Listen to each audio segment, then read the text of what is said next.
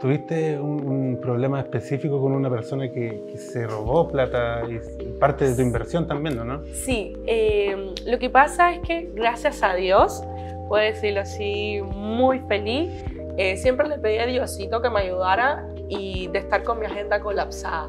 Yo soy harto soy una, yo soy una persona súper organizada, fríamente calculadora para mis cosas.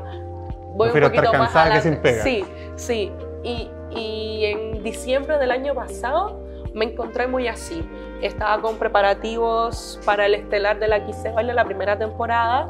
Estaba entrenando, me había hecho una lipo en, en- en- mi cintura para estar más flaca para ese programa. Tenía el tema de los arquitectos acá. Me estaban construyendo el local en diciembre acá. Eh, y necesitaba gente que prácticamente, no sé cómo decirlo como tu así, mano derecha.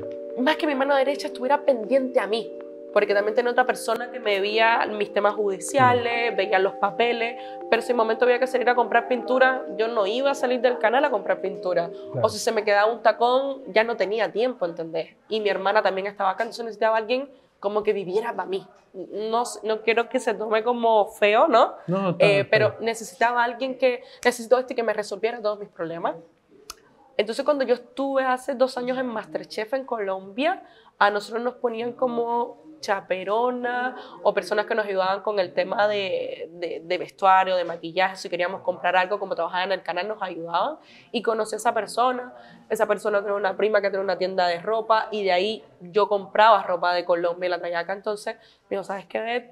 Estoy cagada de Luca, me está yendo mal, eh, si tienes alguna pega por allá que me puedas ofrecer. Y yo le dije, bueno, vente ahora, te ofrezco un salario normal y te lo vamos incrementando una vez que yo abra el local, ¿cachai? Y se sigan sumando las actividades para que te quedes full conmigo. Bueno, le hice todos los trámites y demás. Y de un día para otro me dice que su papá está muriendo. Y yo le dije, ah, bueno, bueno, dale, veamos qué hacemos, cómo lo podemos resolver. Hay plata que tienes ahí de por medio que me debe. Eh, y al otro día mi mamá le encuentra eh, recogiendo todas sus cosas de mi casa con joyas mías. Nunca te dijo que se iba a nada. No, de Ni siquiera nada. cuando te dijo que, que No, estaba no. mal su papá. No, no, no, no, no, no. Porque yo le pedí la plata, le digo, si tú te vas, tienes que trabajármela o me das la plata también, ¿cachai? Que me debes. Y al otro día, así, sin llamar, sin decir nada, mi mamá por cosas de la vida llega a la casa y estaba recogiendo todo. Incluso cosas tuyas. Cosas mías. Cosas mías, se las tarjetas de crédito, dejó esto abierto. Me habían llegado justo estas sillas que ustedes ven y estaban afuera tiradas en el pasto. Tiradas en Sí, es que son caras, digamos. Sí, esas sillas están Sí. traídas de Turquía. Son las muy pueden- bonitas. las pueden ver en internet para que vean cuánto me costó cada una puesta en Chile.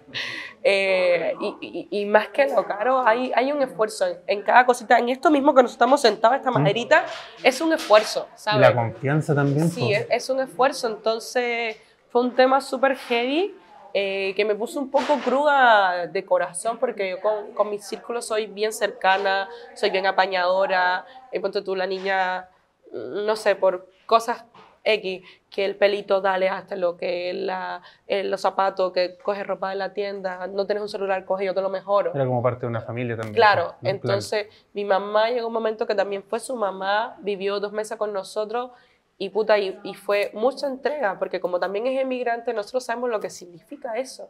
Y fue como un golpe tremendo Mm. y un golpe a la confianza de uno mismo, porque uno dice, mi intuición me falló, ¿sabes? ¿Nunca más Y- supiste de ella? eh, no, no supe más. No supe más y la verdad es que no, no quiero. Y bueno, con, con todo este éxito que así puedo decir que estoy teniendo, como ha llegado mucha gente, como mismo se ha ido. Siempre le pido a Diosito que, que me quite real las personas que no necesito en mi vida. Nosotros llevamos dos meses y medio abiertos hoy exactamente. Y yo dije que antes de los tres meses que por favor, tanto de mi equipo, entre abogados, contadores, toda la persona que tuviera que irse, que se vaya. Y así ha sido. Yo sí, sí. Y así ha sido, real. Ya hemos cambiado el equipo, ya se han ido gente que ha trabajado con nosotros y nos han llegado muy buenas oportunidades. Como que se va algo que no debería estar y, al otro día el tiro, ¡pum! Una buena noticia como cuando viniste acá que, que venían por unas gift Sí. cards y me encargaron pues 50 más. Y son cosas así que justo se fue una persona de acá. Entonces, estoy feliz, agradecida siempre la vida y, y de Chile principalmente porque siempre me ha abierto las puertas así y me abraza con mucho